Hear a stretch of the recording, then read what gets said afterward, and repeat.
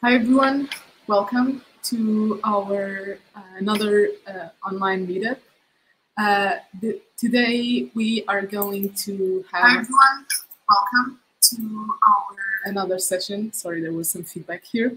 So today we have another exciting session about uh, more practical, hands-on uh, topics.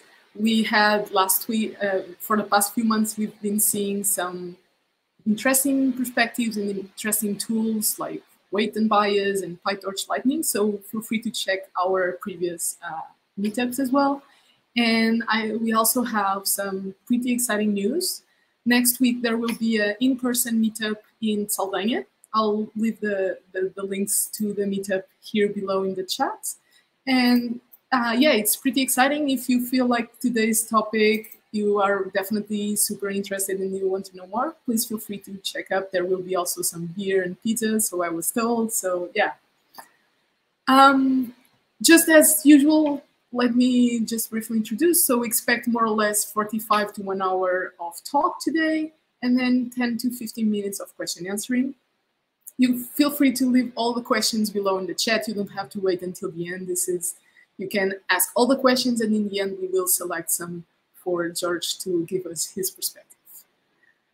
Um, yeah, so without further ado, let me introduce the speaker. Jorge uh, Pessoa is an engineer at Ntropy. He's been working mostly in MLOps and, and um, his previous background was is in software engineer. He actually went to the same university as I did. And previous uh, Previous to his current job position, he was uh, leading the engineering team in Jungle AI. So yeah, I guess he will tell us a lot of great things and interesting things and how we can basically transfer this uh, research in machine learning to facilitate uh, production productionalization and make it easier for engineers to actually uh, deploy these products. So Jorge, I've been talking for a long time now. Feel free, the, the stage is yours. Yeah, thank you very much. Um, Katarina, thank you for the nice introduction. And uh, also thank you very much for the, um, the invitation to be here today. Uh, it really is a pleasure uh, to allow to be allowed to talk a bit about the MLOps world um, for people that are interested. And I hope I make uh, an interesting uh, talk for you guys. Feel free to, as Katarina said, to leave some questions. Thank you very much as well for to you, Katarina, to Luis, and everyone in the deep learning sessions uh, for this opportunity. I hope uh, you all enjoy, and also thank you everyone that is uh, watching.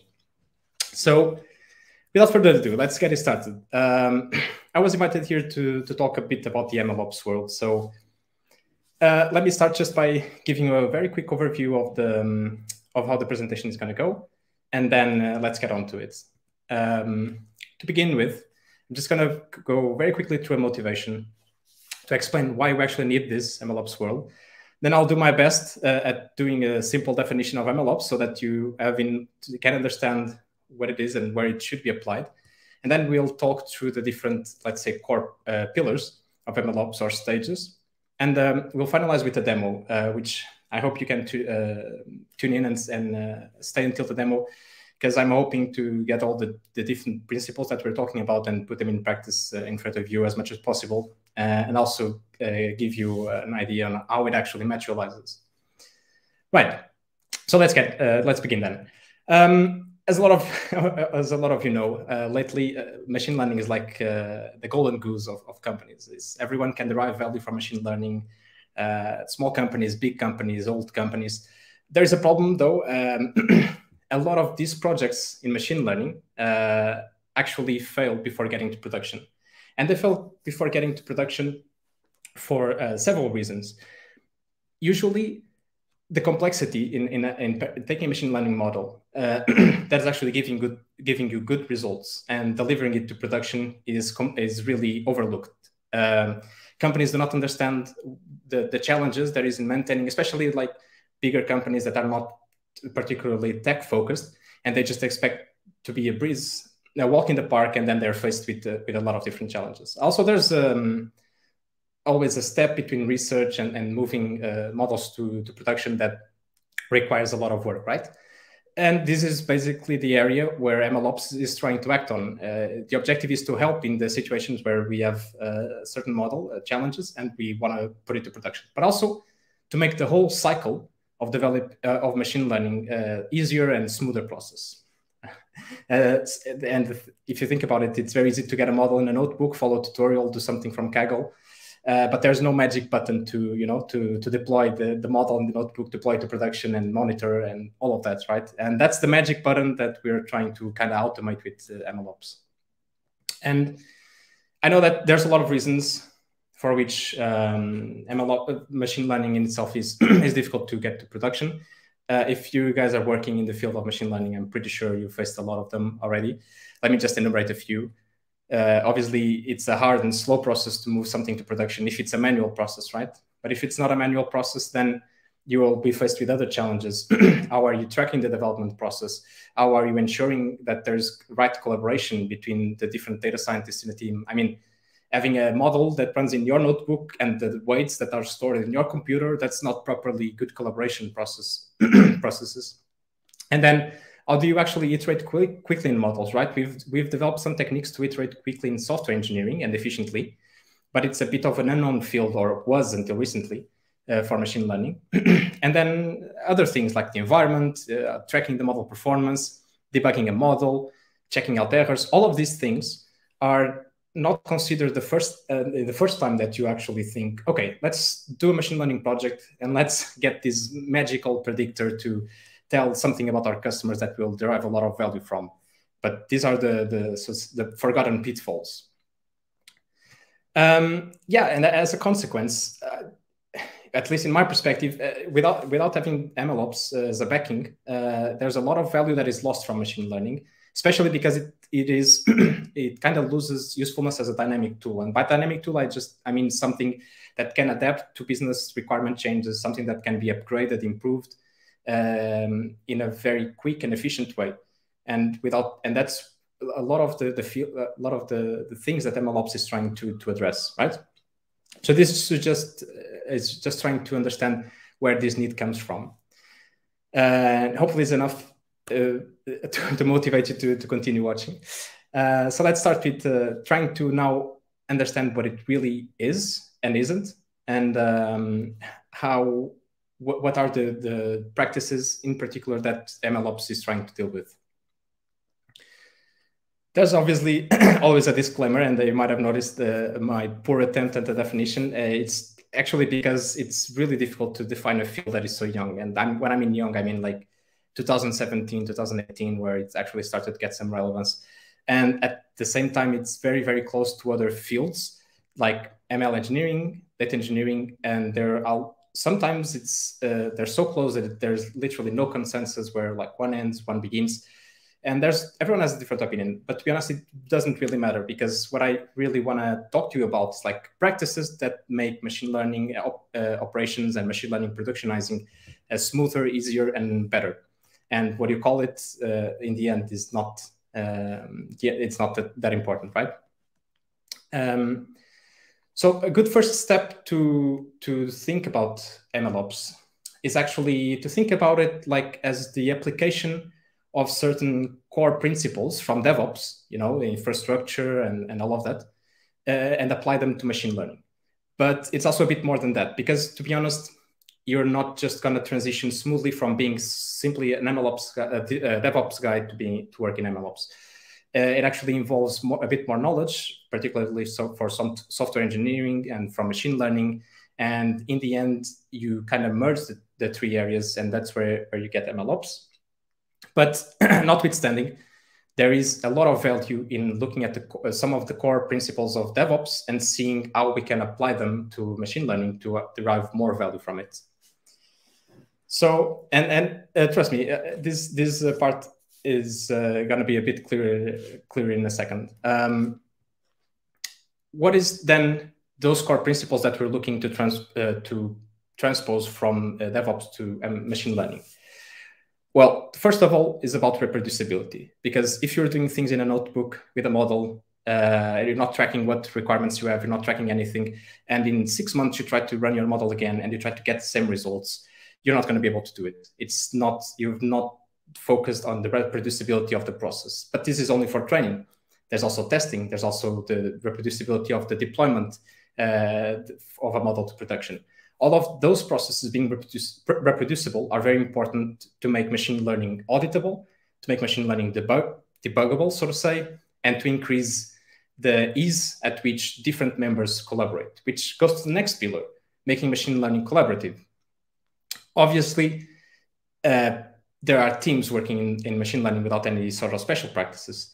However, it is important to understand that we're also trying to, to bring collaboration not only from a code perspective, from using Git, but also from an operations and process perspective. So uh, if you have a train, if you have a deployed model, who trained that model, who generated the data, who generated the data set, all of this information is essential to have basically a, a model lineage that explains the whole process and makes the process process trackable, makes the process uh, explainable, and also make allows you to reproduce the process uh, reproduce the process uh, in the future to retrain the model, and um, all of this is made easy to begin with if you focus exactly on accountability and allowing uh, your uh, your team to work in parallel.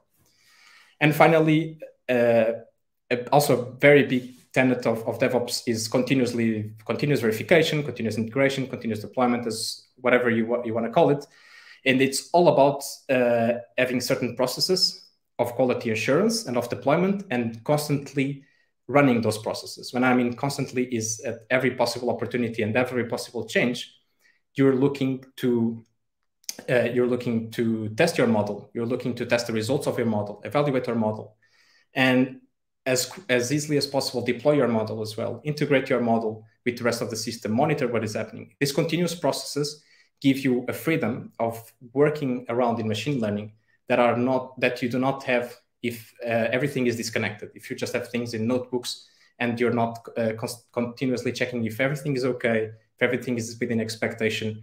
If you do a big change or test a big new architecture, does everything still work? Those are the questions that we're trying to eliminate from the equation and make them basically automatically answered, right? So this is how you kind of take the, the these three core core principles and shape them a bit into the, the world of machine learning. Um, and what can we? So thinking about this, what can we take as possible goals for machine learning, right?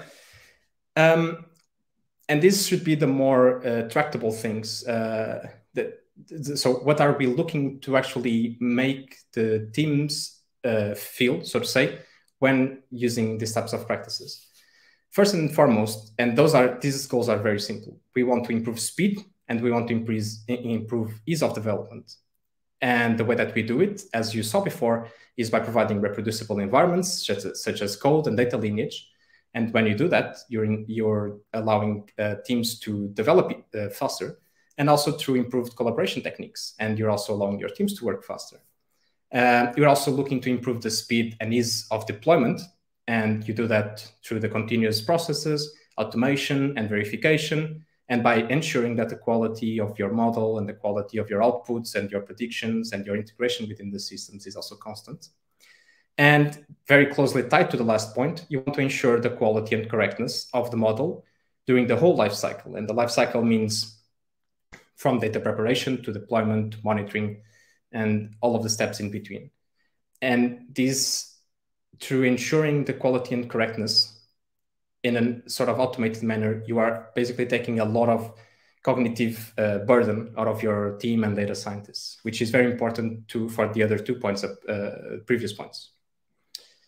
So let's let's uh, think a bit about how so we, we, we saw what kind of principles we're trying to guide ourselves into. We saw what are the goals of what we want to do, right? But I've not yet uh, said anything in practice of how we uh, how do we apply these principles and goals in the actual process of doing a model, and we ensure that we improve the process towards the goals that we defined. Let's if we start on a regular model lifecycle, simplified actually model lifecycle, we usually start with data preparation, and we do some experiments, we do, and then eventually we do training of the final model that we want. Uh, this is the development stage, and then we do the deployment. We have a production model, and there's data feedback from incorrect results or from eventual something eventually changing that requires us to train again. So this is the normal lifecycle model. The only thing that I want to to what I want to see now is talk about a few core processes that we can introduce here in this normal cycle and improve the, the quality of, of the, the process, but also go towards the goals that we, we just presented. So here's a couple that for me are some of the most important and, and are the ones that I'll, I'll be talking about today. Um, the first one is tracking. And tracking goes a long way on the reproducibility and accountability collaboration. Tracking is about uh, understanding from the data to the models what has what what happened, how the data was created, how the data sets were generated, how the models were run, with what parameters, in what hardware, in what environment. Tracking is about maintaining the the line the lineage of a model from the moment it, it, it the gen, the data is generated to the moment that the model is uh, phased out of production, for example. The second part that kind of affects the whole circle and the whole life cycle is the orchestration. And Orchestration is, uh, goes a bit closer to DevOps than to machine learning. It's about providing the necessary infrastructure. It's about providing the necessary tools for the whole team, the data scientists, to execute their tasks and their different stages without having to be concerned about these things, make things automatic and efficient. Uh, CI/CD, continuous integration, continuous deployment, is all about um, the continuous processes that I described. So it's about our uh, continuously testing your models uh, continuously ensuring that the outputs are correct, and also continuously deploying models as soon as they are needed. So in an automated, uh, automated but also quick manner. And finally, the continuous monitoring part, which is when you have a model in production and uh, and you're looking to understand what's going on in the model, there's a need to be to understand the outputs, the latency, all of these different metrics that tell us the health, so to say, of the model and basically serve as the feedback process for which you can initiate the, the, the next stage of the model uh, development, right? So it's just some three or four simple processes. I'll talk a bit uh, more about uh, each one of them and especially what tools you can use to, to address them. But uh, I think we're kind of ready to, to think about the, um, definition of MLOps, right? And it's not because I care a lot about the definition. It's because I, I really want to, to have a natural thought process between where it is used and how it how it is used to what actually are we trying to achieve in general.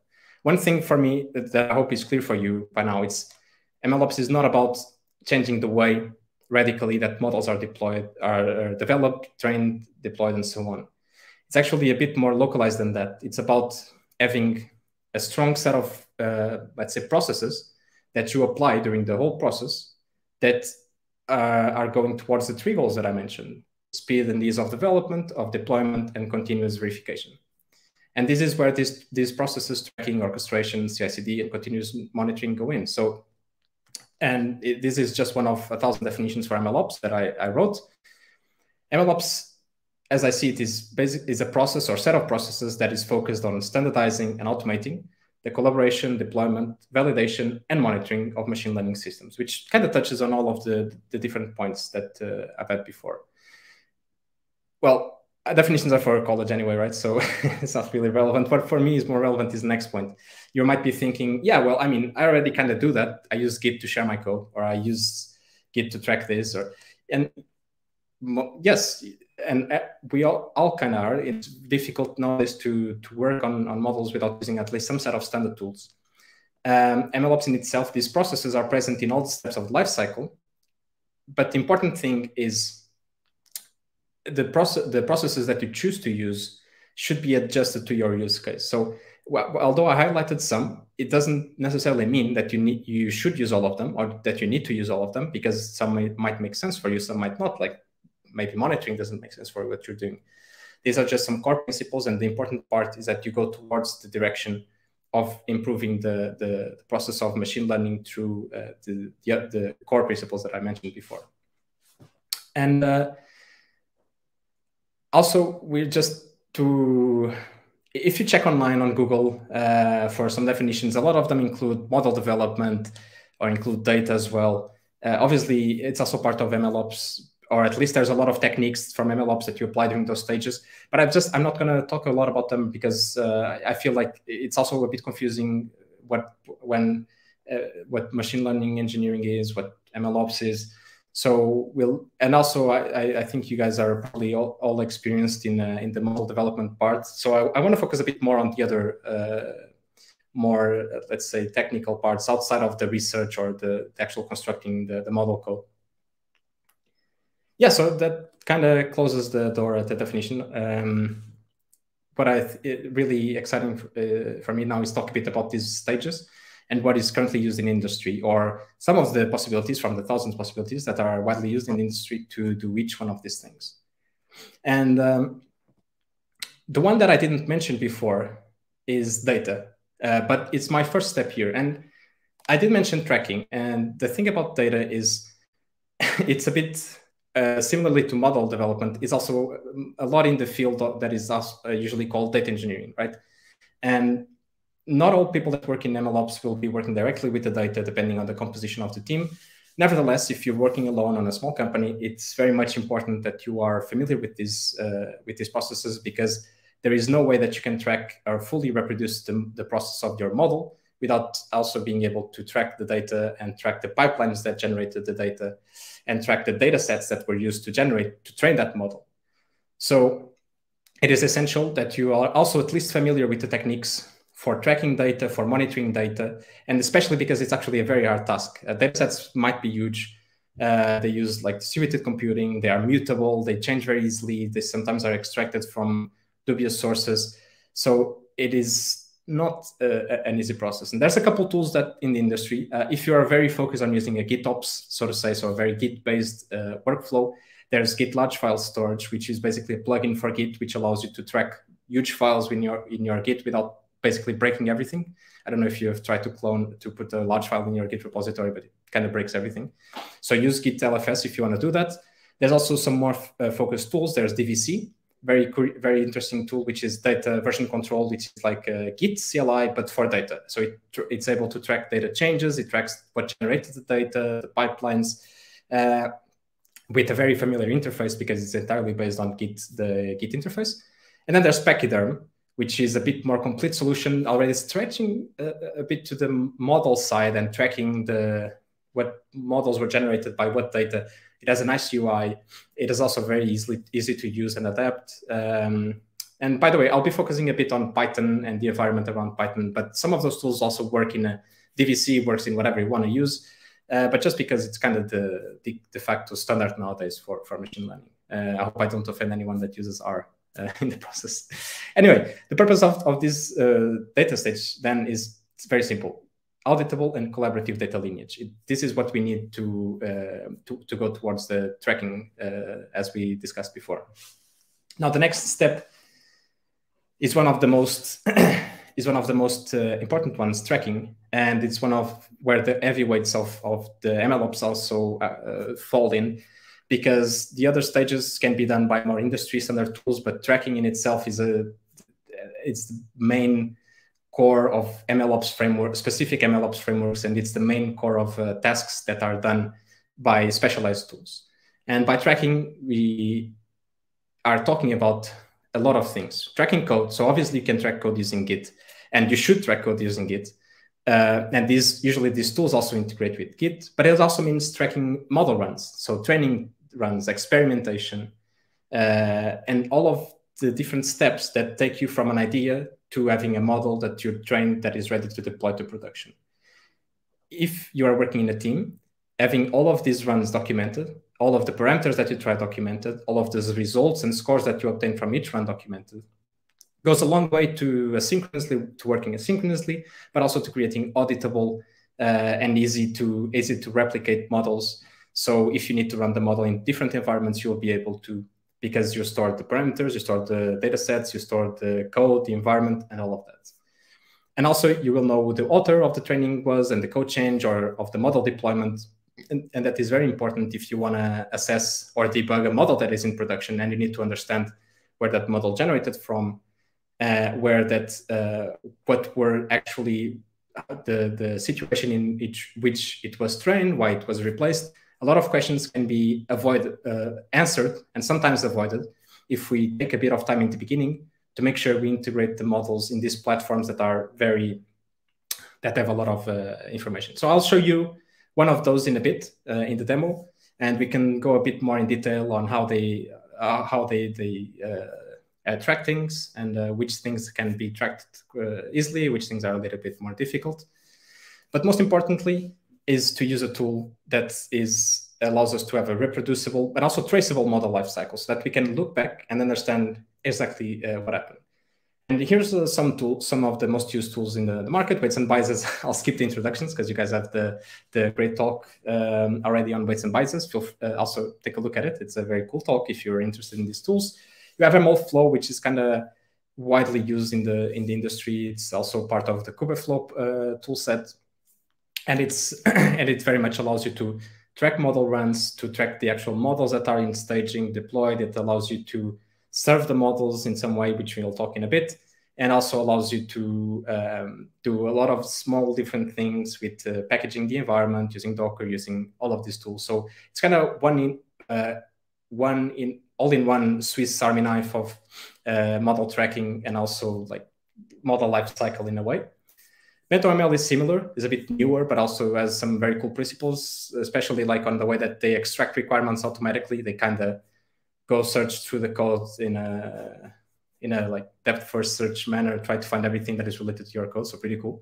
And then Neptune AI, which uh, I am pretty convinced is uh, ML a managed MLflow with a couple of changes. Uh, it's an extremely cool platform, by the way. Don't take me wrong, but uh, it's there's a lot of similarities with MLflow even in the concepts. So if you understand one, you'll understand the other.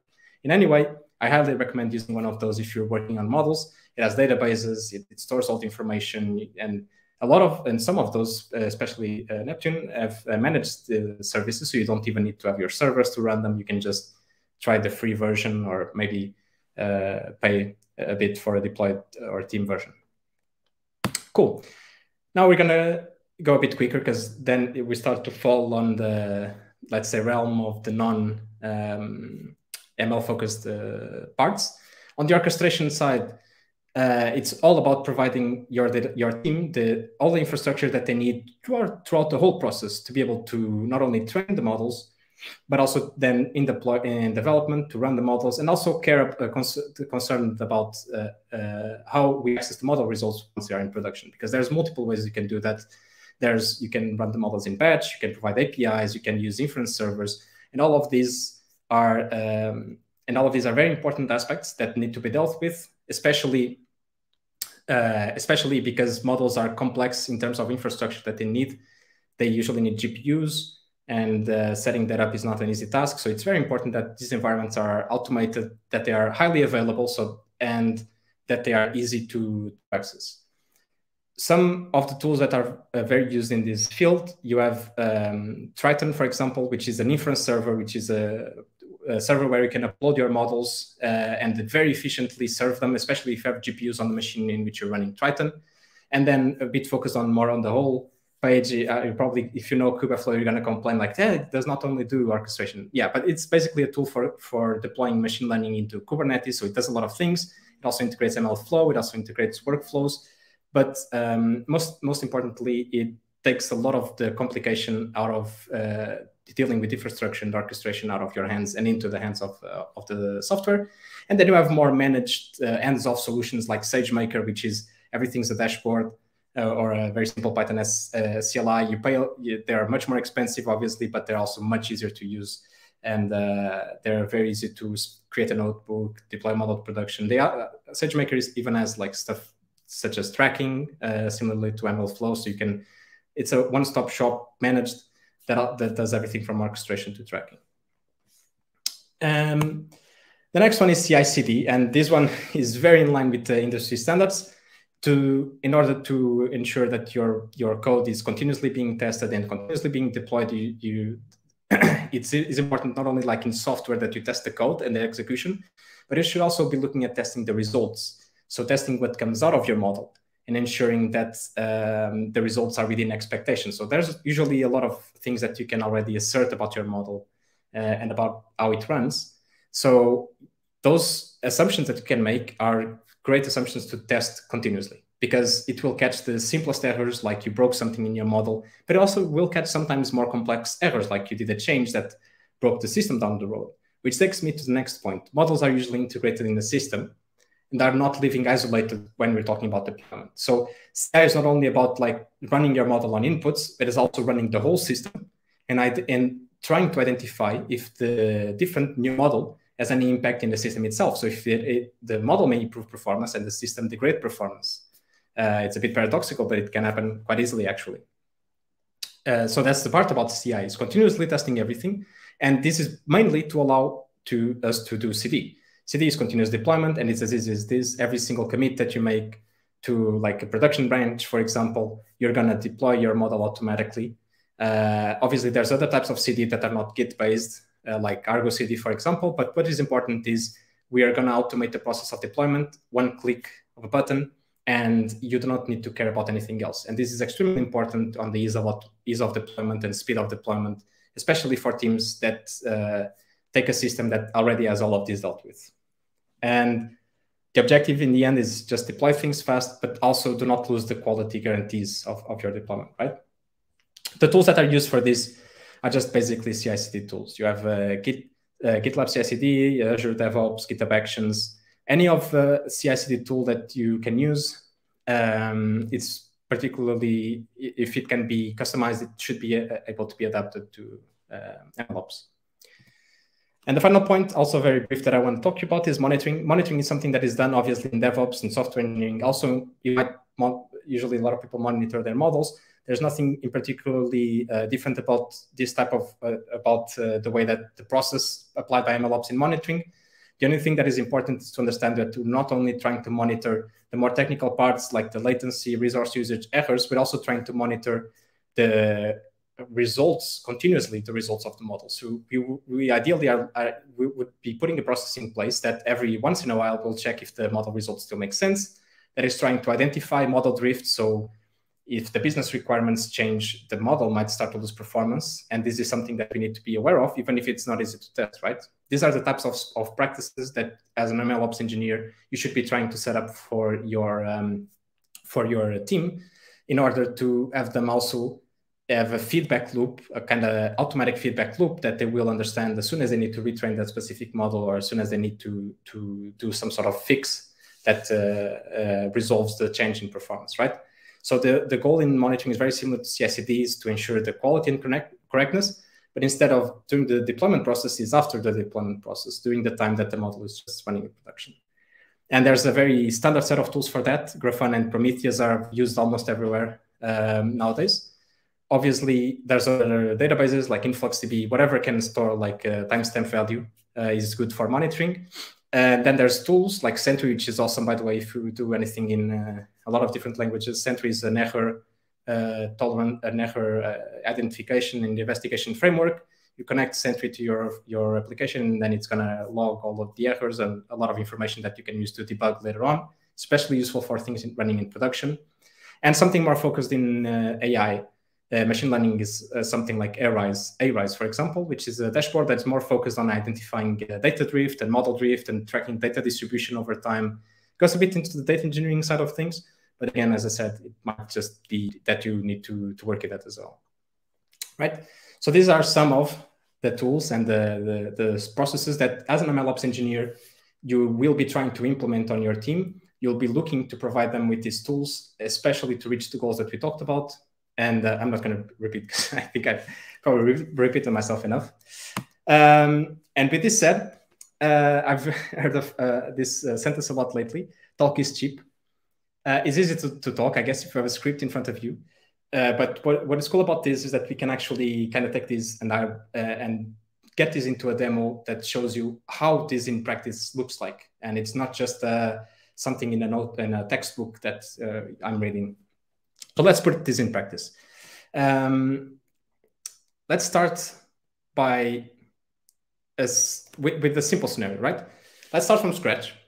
And we're going to create a classifier for the iris dataset, which I think everyone knows. And we want to serve this as, as an API, right? So we're going to start with just this, like a train Py script and um, and um, and the definition of a server, an API to, to serve this model. And we want to integrate it in the world of MLOps. So I'm going to kind of do the process that as an MLOps engineer, you, you would be doing uh, in practice to, to make this uh, like a, a nicely well integrated machine learning system. And what is that in particular? So just taking back on the points that we talked before, we want to add some tracking to the training runs, to the results of the training runs. We want to make sure it's easy to collaborate on the code and on training. You want to make sure there's accountability for what happens on, for the operations, such training and production deployments. We want to make sure um, there's reproducibility everywhere possible. So we try to reproduce environments, data sets. We want to use CI/CD processes because we want to make sure that, like with a click of a button, we can uh, do the whole thing. And finally, we could add uh, some external monitoring. Uh, it would be great. Um, and one other point on this uh, challenge that I made myself is I want to do this, but I want to I want to do it all with managed services. So what I mean is I want to do it all with services that you can go on the website, register for a free account, and you uh, are able to actually reproduce the tutorial on your site. There's going to be a, a, repository with everything. You just plug in your uh, API keys, and uh, yeah, hopefully it will work. Um, before we actually jump into the code, because it's a bit, I actually wanted to code everything with you guys, to be honest. And then I realized it probably need like two hours and a half to, to do it. And uh, Katarina would kick me off way before that. So um, I resorted to having to having a starting point, very simple, and then bringing each one of the pieces of the puzzle to to the demo. The um, but I still want to run through the whole system and what we're trying to do first, so to also make more sense of what I'm going to show you. Um, so we're going to begin with a very simple model, scikit-learn model. We're going to use Poetry and Docker for reproducible environments. Uh, Poetry is just a Python framework that does a great job at uh, locking down uh, uh, dependencies, which is important for uh, reproducible environments. We're going to use a Git repository for code tracking because what else am I going to use? Um, and then during training runs and during development, we're going to use Neptune uh, to track those training runs. And finally, we're as every time we commit to the master branch, I, I want to run a CI/CD process that does the following: that tests my model, that registers my model as being deployed to production, and that actually deploys that model. And the way that we're going to have the model deployed is we're going to, because that's a bit going more into the DevOps, doing like a whole Kubernetes setup, etc., would be very time consuming. So I'm going to just use Heroku, which is a quite a nice managed uh, application service, which you can use to, to deploy things very easily. So you just kind of give it a Docker container and it deploys it, magic. We're going to use the CI/CD to deploy that container with the new model. And then we're going to monitor it using uh, InfluxDB and Grafana managed services as well. So all, all, all of this either is uh, open source tools like uh, scikit-learn and uh, Poetry, uh, free to use tools like Docker, GitHub Actions, or managed services like Neptune, InfluxDB, Grafana, and Heroku, which you can actually have a free account without any, uh, and you can run this example without paying anything. So this is the point where I switch to my screen, if I can. So let's see.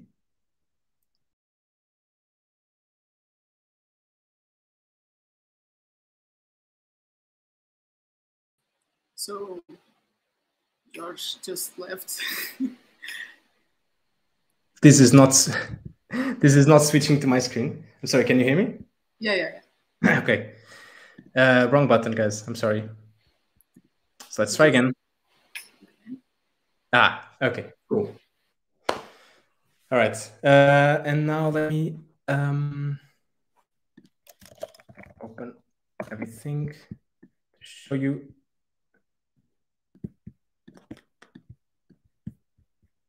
think this is correct. Yeah, looks good. Okay, cool.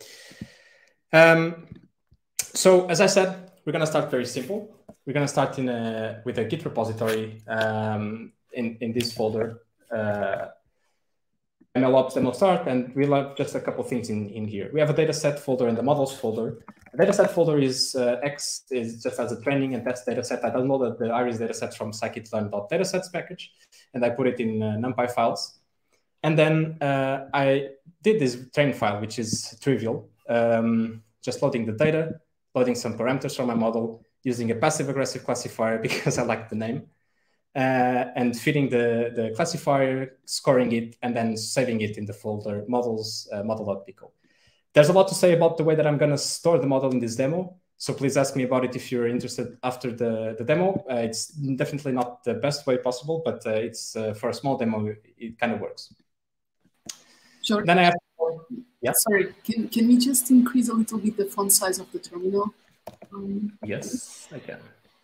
You good? Cool. I think so. If anyone uh, feels that it should be a bit uh, larger, please let me know in the comments below. Thank you, George. and press the subscribe button. Um, anyway, um, I have another file, which is a requirements txt. If you use Python, this is very familiar with you, but except I did this like the wrong way. I just dumped everything in here without versions, without anything. And this is all my requirements and someone that is from the software engineering or whatever that deals with this. And then I have this main.py file. I'm going to go in a bit more detail. Uh, we're actually going to move this from here. It's not needed for now. And I this is very simply a Flask application in a web server. The only thing that it does is loads my model from this model.pickle folder. It uh, has a method to run my model, and then it has a single uh, endpoint, which is a slash predict, in which you can submit any amount of data points for a model, and I'll return you the predictions of the model. So this is literally an API that serves the, a model that predicts the iris dataset, and it's quite uh, simple. So now let's start somewhere. Um, one thing that I want to do is start with reproducibility. Obviously, we have this uh, train.py file, which kind of outputs the model to this models dot model uh, uh, pickle file. We can run it. It's gonna um, put the model there. But the thing is, how do I guarantee that someone else can clone my repository and uh, clone my repository and actually get the same results if this is all I have, right? So this is where Poetry comes in. Poetry is some is a very cool tool that you basically give it a, a set of requirements and it's to solve to the whole map, the whole uh, graph uh, dependencies to solve the exact versions of, of the requirements that you need to be running or that makes sense to be running with your current requirements. And then it's to actually give you one requirements, very complete requirements file with a single version uh, for every single, not only uh, library that I put here, but also every single dependency. So that's kind of step one of making my environment reproducible, right? Is everyone uses the same library versions. Now, unfortunately, Poetry takes a long time to run, really long time. So I'm gonna kind of cheat, use my other folder, which has uh, some magic files, and uh, I'm just gonna go through them. Instead of starting from our requirements, because that's what we're trying to generate with the correct versions, we start from a PyProject file, which is very similar uh, for for poetry, except we I put a, some of some versions here of what I want, but I didn't actually put the, the right version. I just said I want higher than 1.8.0, higher than 1.0.2. It actually does this based on your environment. It's, it's not even manual. And then when you can you do poetry update, and it's gonna do the second step of um, of the, the process, which is to generate the lock file. Uh, poetry lock file is basically a file that locks the versions of everything. So it's gonna not only for your libraries, but all the dependencies that you have from these it's got uh, from these requirements. It's gonna choose a version that solves correctly, so that everything fits together with their within their actual dependencies. And it generates this lock file, and then based on this lock file, it generates this monster of a requirements file, which is actually you are installing exactly the same amount of libraries that you would without uh, using Poetry, except all of the libraries that you are installing are very specific versions. So now, if there's something in scikit-learn that changes the way that the model works, for example, or any other dependency, uh, I am sort of have a guarantee that if I use this requirements uh, file to build my system and give it to someone else, they're at least in terms of the library code are going to have exactly the same versions as I do. Because if I did my poetry file correctly, this is everything that I need to run, not only the model, but also the API serving the model and so on. So that's kind of step one of reproducibility. And step two of reproducibility is ensuring that, okay, now for development and training, I can kind of use these poetry uh, generated requirements to, um, to have the same environment as my colleague. But how do we ensure that we also have the same exact environment to production every single time and that I can actually reuse this environment locally if I need to test what's going on? This is where Docker comes in. So if you're not familiar, Docker is a containerization tool, but it's not uh, necessarily a virtual machine. It's a bit higher level than a virtual machine. However, what it allows you is to kind of create a recipe saying, okay, I want a container, and inside that container, I want just a couple things. I want just these requirements, I want the Python library, and I want a couple more things. And you create a, a very uh, recipe that is kind of deterministic, and it builds, and the output is a sort of it's a binary uh, image of that container, and that binary you can reuse uh, as many times as you want and uh, how many times uh, as, a, as many architectures as you want that it's going to kind of work as a virtual machine in the sense that it's always going to be the same thing the same outputs. And yeah obviously if you're familiar there's a couple exceptions. In general it's a great tool and very used and used a lot because uh, tools like kubernetes for example run on top of containers so everything that you need to run on a cluster kind of needs to be containerized first so i'm going to steal my other pre-made uh, docker file And let's take a look at it because uh, it's very simple. Uh, if you never used, it's also very simple to to use. I understand if you're familiar with Docker that this is not the perfect Docker file. It's actually, I would uh, get uh, scolded by anyone from DevOps. But anyway, it works for our purpose. So we're uh, on the first line, we just say, what is the base image for container that we're trying to use? Luckily, there's some very useful ones for Python with the correct Python version. And then we are going to copy the requirements that we have locally we're going to install inside the container the requirements, and then we're going to copy the files for our server, and that's it. And then we're going to run the, the web server. This is basically running the Flask application. That is literally it. We're just defining a very simple set of a uh, very simple recipe to run our uh, system. And uh, this recipe, if I build it locally, should have be a reproducible environment uh, that is similar, that is the same, because these requirements are also locked by poetry should be the same because we're starting from the same base image, which is basically the same virtualized uh, environment. So th this goes a long way to, to having a, a reproducible environment. And this, um, there's a couple more things that you need to do, but if you're doing this, you already are quite uh, well set, right? So let's go to the next step. And the next step I want to uh, uh, go through, you guys, is using Neptune and uh, to track the, the training process. Uh, so Neptune is this self-hosted, is this managed platform, as I said, and it's very, very easy to use. Actually, similar to MLflow and also Weight is very simple.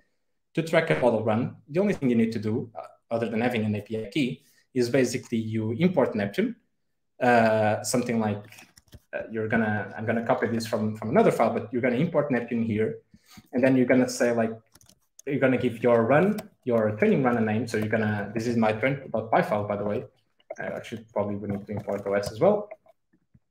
So we're gonna um, create a, a, run, and the run is just saying a project, which is a project I've created before. I'll show you in a second, and give it a name. So let's say this model that I'm gonna train, this is the name, train model dash one. And now it's registered in the Neptune, and the only thing that we need to do is to say what are the artifacts from running this uh, model that we actually want to register. And it actually has very useful tools that integrate directly with scikit-learn that extract a whole lot of information. I'm not going to use them. I'm just going to show you uh, how you could um, very simply do this. Actually, this could be something like, you know, I could just pass the file directly, for example. And most importantly, what is this telling me? This telling me create a run, call this train model one, and we train the model, we calculate the score, and then let's say, okay, on this training run, let's store the score as this value. Let's store all my parameters that I've used as params. And also let's store the pickled model as well. So we actually are storing the, the model in Neptune as well, together with all of the other information. And Neptune is going to extract more information. For example, it's going to extract who is doing this training run because of your API key, which should be unique. It's going to extract uh, OS parameters, such as CPU usage, etc. It's going to extract a lot of uh, information but most importantly, uh, it's going to make this whole training process very trackable because it's also going to store the train.py file, the, the environments and the requirements. It's uh, kind of uh, the, the uh, helping a lot towards tracking the, the whole process. And uh, I'll show you in a second what it looks like when you run this. Let's just go through the, the, the other steps, uh, and then I'll do a, a run of the whole thing. So this is adding Neptune to training. And then the next step is testing the model. And testing the model obviously can be very complex. I'm gonna just do very simple tests because I just want to show you the base, the basic um, thought process between testing your model. So usually when you're testing software, you can do like unit tests where you're testing very small uh, parts of your code. Here, I created this test.py file And the only thing that I'm going to do is I'm going to load data that the model is supposed to take, and I'm going to test two things. I'm going to try and load the model that is going to be deployed to production, and I'm going to try to uh, predict one sample, and I expect to get one sample back. And then I also am going to calculate the score for the whole test data set, and I expect a very reasonable score that is uh, larger than 0.1. And the purpose of these two tests is kind of you're testing if there's smoke, you know, if there's smoke, there's fire. If some of this goes wrong, obviously you have a huge problem. But you can think there's a lot of other assumptions that you could probably do with your model in which you could test them. You can even do more like internal tests of your model, and there's a lot of things that that uh, you can that uh, are machine learning specific that you can test, not only like code execution. Uh, it's very easy to do, and this allows us to make changes with the underlying model without uh, fearing that I'm going to break something as simple as how many uh, predictions I make per sample, or breaking something as simple as having a very reasonable score, right? And if you increase the number of assumptions that you're testing here, you're going to increase obviously the how tight and how how good you are, uh, how, how, secure you are when you're doing you're doing a change. Obviously, there's a big part of this test that makes it relevant, which is running it automatically. I'll get there in a second. First of all, first before that, let's talk very quickly about deployment as I said, I'm going to deploy this whole system with Heroku. And it's very easy to deploy because you saw that I created a Docker file. Uh, I, it's running a web server. And to, to deploy this to Heroku, it's literally one thing. You kind of say, hey, here's my container Docker file. Can you build it and uh, deploy it as a web app? And it does both things on their side, on their system. Um, and actually, I'm also going to do that through the CI/CD process on GitHub Actions. So it's even simpler, and you, I don't need to run anything locally. And the second part of deployment is the following. There's one thing on the initial, I, am not open slides, but there's one thing on the slides that I wanted to do, which is when I deploy the system, I also want to register what model it is that I'm going to de deploy, uh, that I will be deploying to production, because that's when the whole thing, the whole uh, CI/CD process triggers. I want to register in Neptune so that, that is tied the training run, that is tied to who did the production deployment, and all of that information is completely traceable. So every time on this my mock system that I would go to Neptune, I could see exactly what generated the model that is currently in production, what are the training score, who did what. There's a lot of information that it, there's a, a, a lot of information that you can take from there that is uh, kind of one-stop shop. And finally, uh, the monitoring part. And the monitoring part is, again, very trivial because this is a simple example. Let's say that we have our main.py file we are running the model here, right? And the only thing that we want to monitor is, for example, the latent. We're going to monitor the latency of our model, and we're going to monitor register, let's say, the batch size that the model is calculated. Obviously, these are kind of useless statistics. Uh, the latency not, but the batch size is.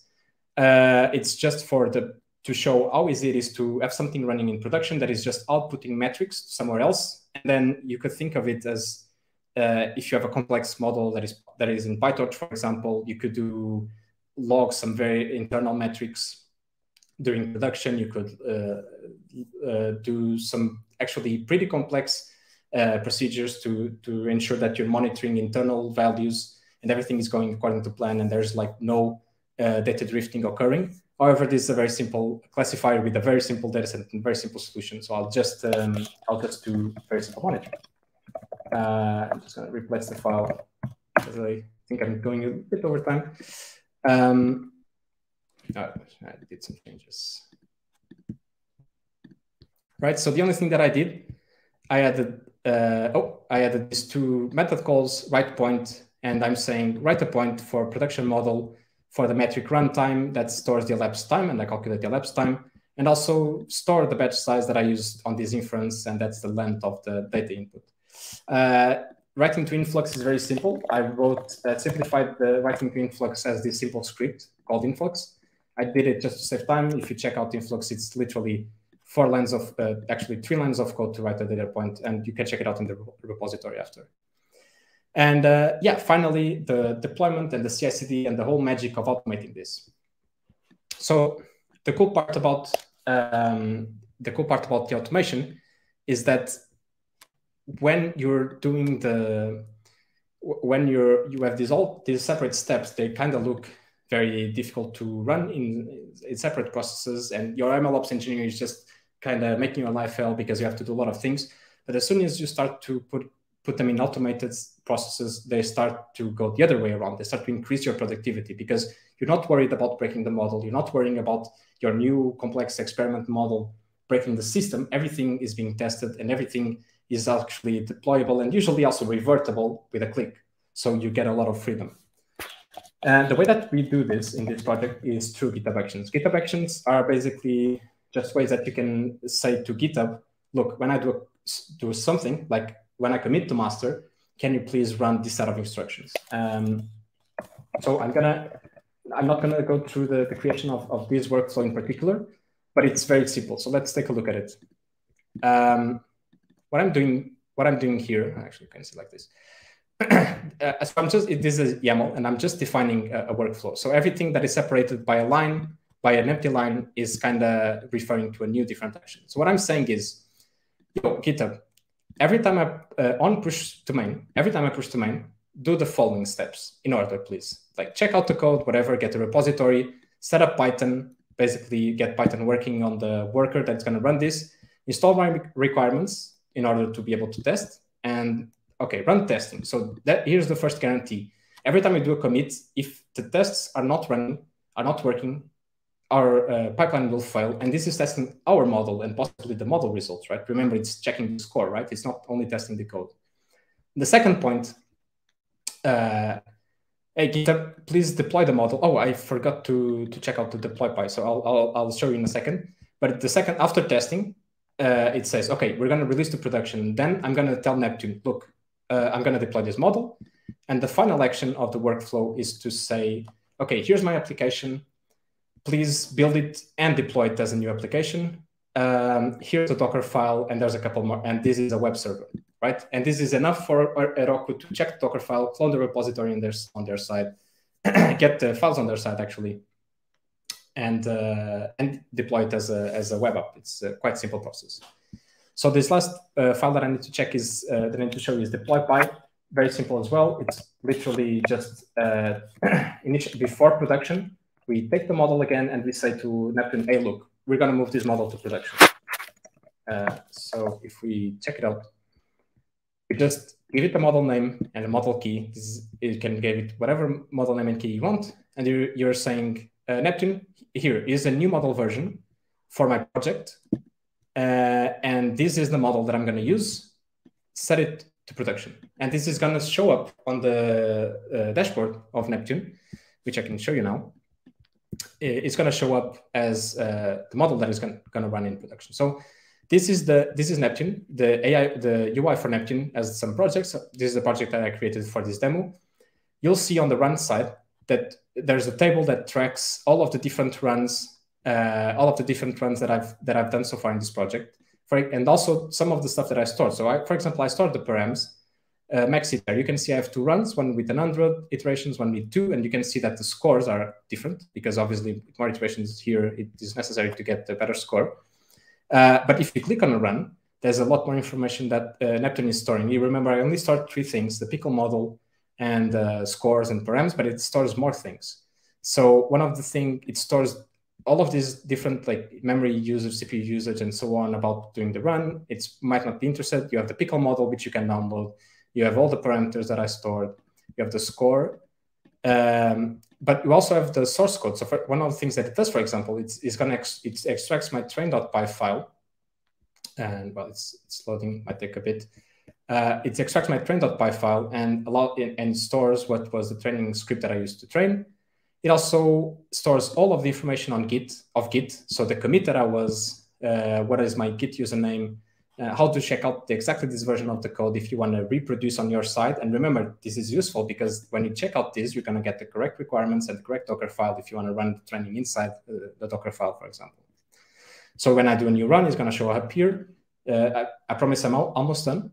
Um, and then on the model side, um, when I uh, when I deploy model to production, it's going to show up here. Well, they're all in production because actually I kind of lied I'm not set, setting the other models out of production stage, so they will all show as production. It's a very simple thing to do, but a bit out of scope of, of the demo. But more importantly, with this uh, uh, with this information, I also know exactly what date the model was deployed, by whom, and I can check the, the rest of the information as well, as well as which was the run that originated the, the model in itself. So as you can see, there's already a lot of trackability in, by using Neptune uh, that goes a long way towards uh, satisfying some of, uh, I just realized that it's a bit small, so I'm sorry for that. I was looking at my screen. I hope, uh, yeah, okay.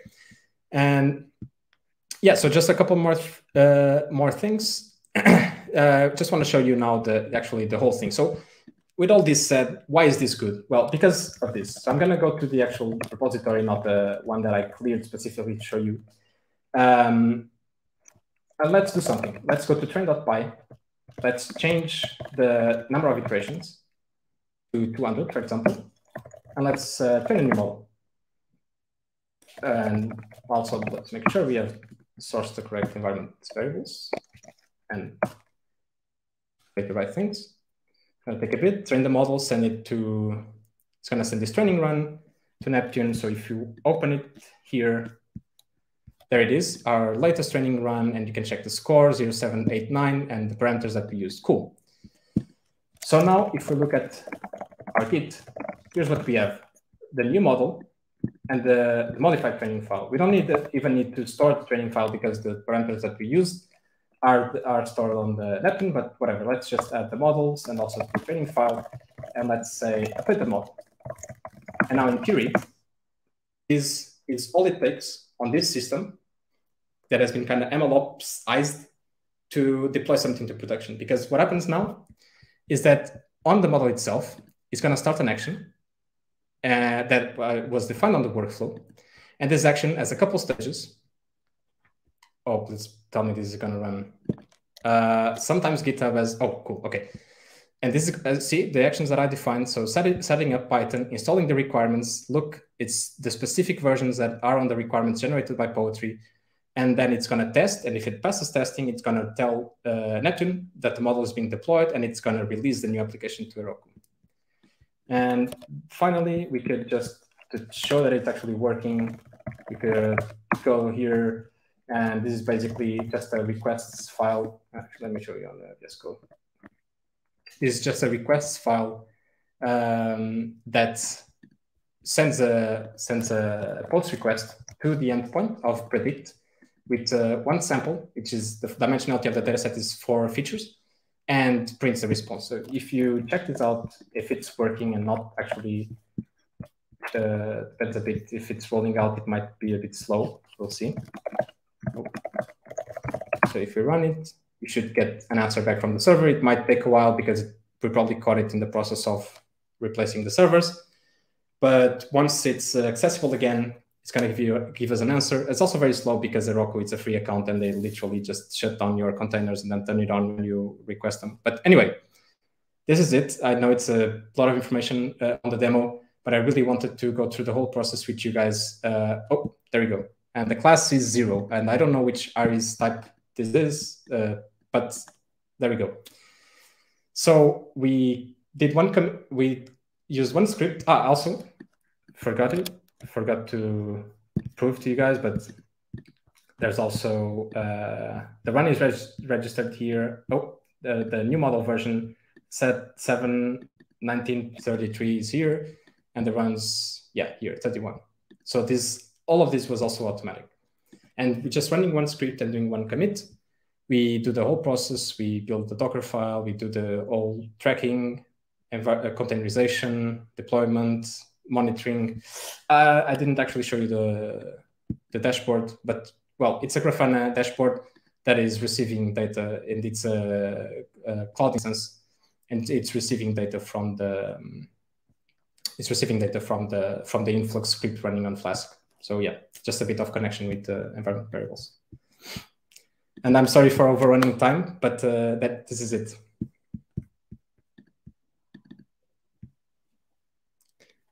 Okay, thank you, Jorge, for this great uh, talk. I'm sure it will be consulted many, many, many times by a lot of people after the fact. So thank you so much and for taking the time to do the demo with all the problems that all worked out well. So yeah, Maybe we can ask a few questions. We have two questions in the chat. I'll ask you also one or two.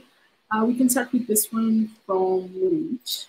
Um, yeah, he's saying something about how not so long ago individuals had no access to GPU, TPU resources on cloud solutions. And so he's asking what's the cheapest way to efficiently uh, train models for personal projects. Um, yeah.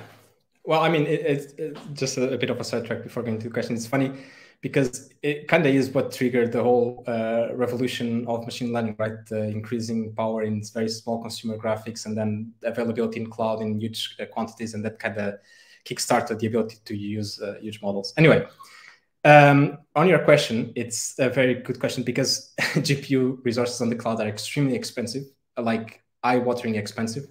Um, and there is, unfortunately, other than using Google Colab, uh, and sucking the uh, as much resources as they allow you, although it's like some slower GPUs usually acceptable, or having your own GPU, which now they are very much capable, uh, especially CUDA enabled GPUs from NVIDIA.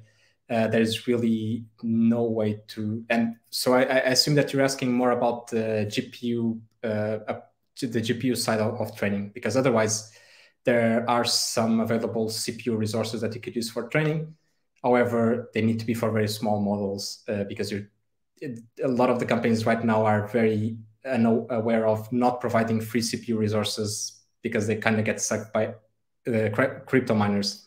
Everything that is for free and as compute is abused by crypto miners, and thus we poor data scientists suffer from it, which is sad. That's why the kind of the, the GPU access is a little bit different. Okay, as a follow-up, maybe I can also uh, ask something, which is you mentioned that the models are getting larger and larger, and so all this process of storing and uh, in, a, in order to have um, accountability and repro reproducibility, I am asking you how realistic it is, the assumption like, oh, let's just store all the models and whether there are some good practices like maybe some of the models we are not as interested in saving, or for example, if we ran a huge grid search, and what what what is a common practice uh, to deal with this kind of uh, decisions trade-offs that you have to to do? yeah. Um, so the, the good part that is that storage is also getting cheaper, it's particularly some formats of cold storage. So it is uh, in with some caveats. So let's say you're OpenAI and you're training these huge, uh, in, and uh, not even graspable models that they do. Maybe it is not correct, but for most the companies that train relatively sized models, like in the hundreds of megabytes, it's very much uh, possible to store everything. Uh, a lot of these tools uh, that do tracking also do uh, storage tiering. So they, let's say they put your model in hot storage for 30 days and then they move it to cold storage and then to move it like to fro frozen storage. So they keep moving it down to slower and slower and uh, more expensive to access but least uh, less expensive to uh, keep. So it's actually very reasonable to that you keep everything uh, data sets is a bit different right? Data sets is usually because models for huge data are comparably smaller uh, than the data sets themselves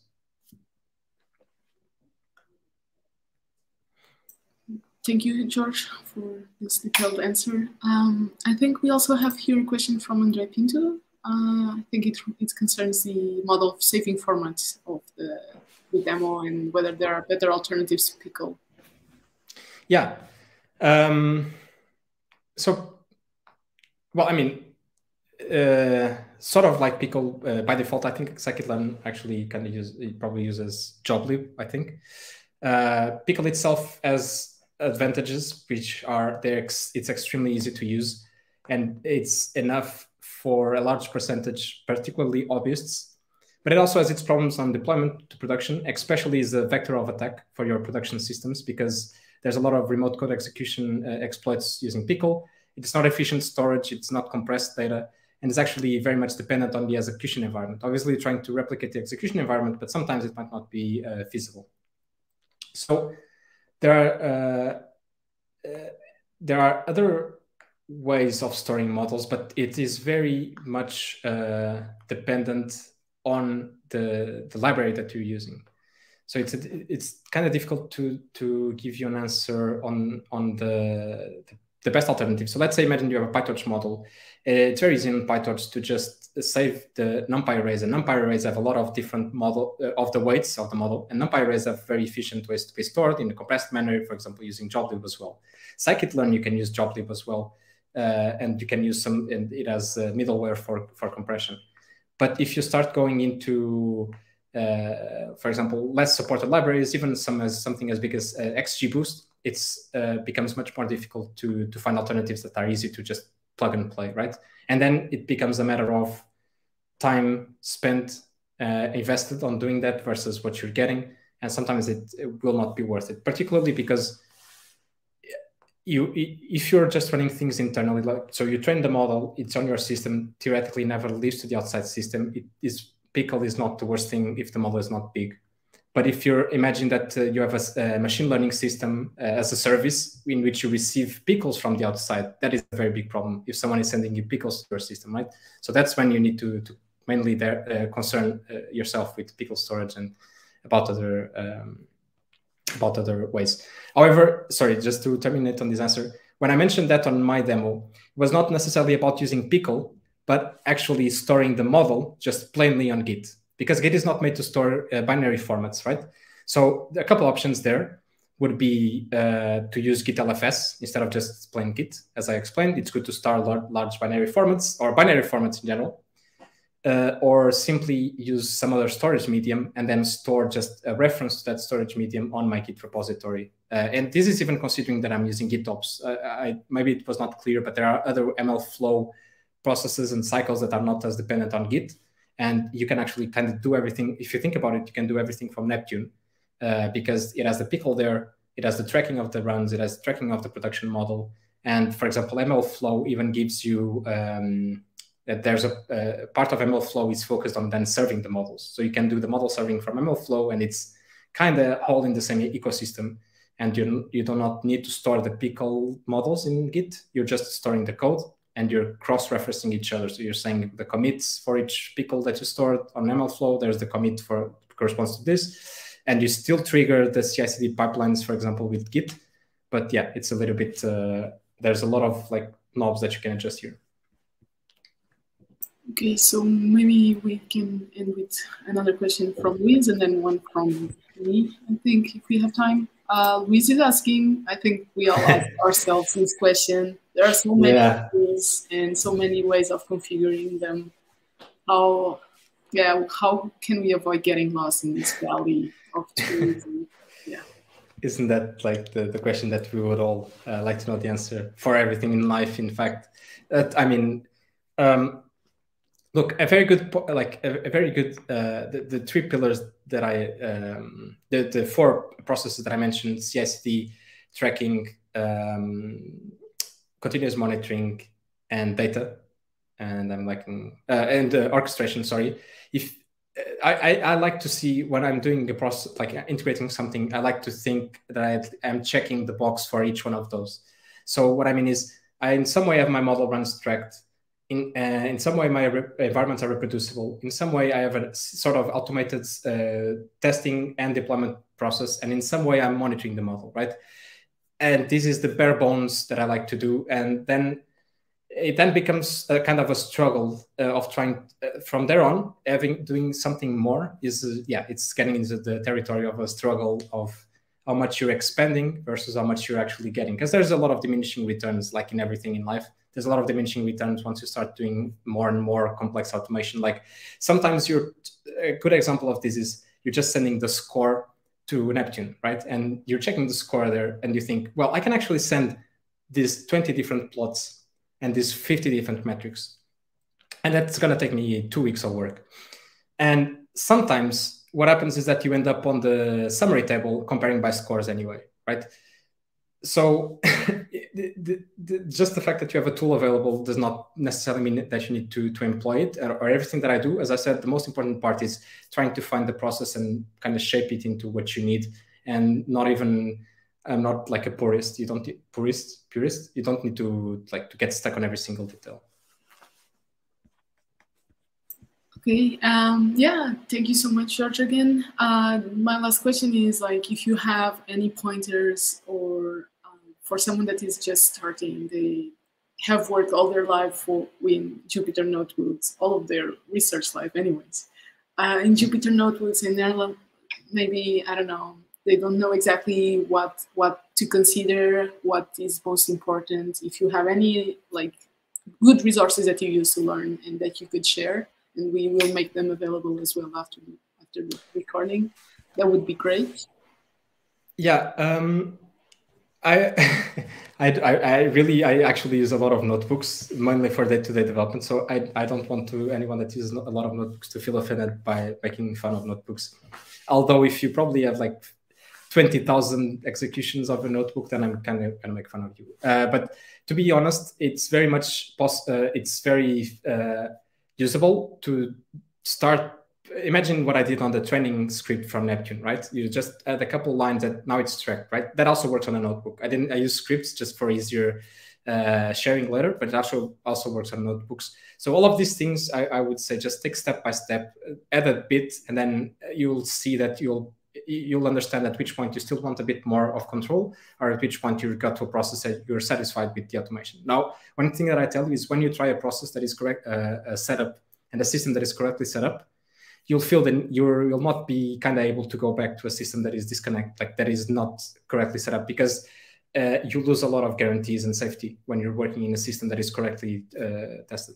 On the resources part one of the resources that i want to share to you that i think i hope it's a good start is the demo. It's a repository. It has everything there. Uh, i did not write a readme. I'll probably just write a readme. Um, uh, i'm going to share it anyway but then i'm, I'm going to edit a readme and uh, the other, um, the only thing that I'm kind of aware of for MLOps are just a kind of set of uh, courses from a few online free resources. I'll check out if there's anyone, there's any of those that I feel like is feels sharing. But I'm going to be very honest. I've learned a lot mostly by experience, so I don't really have a, like a set of resources that I used to like uh, kickstart. Kickstart it was like a do by need, and then needs uh, uh, motivates research, and yeah, but I hope the demo can can help there. Oh, my bad. Uh, yeah. Welcome back. Yeah. At least um, at least you did not leave the call, like someone that I know. You, yeah, I guess.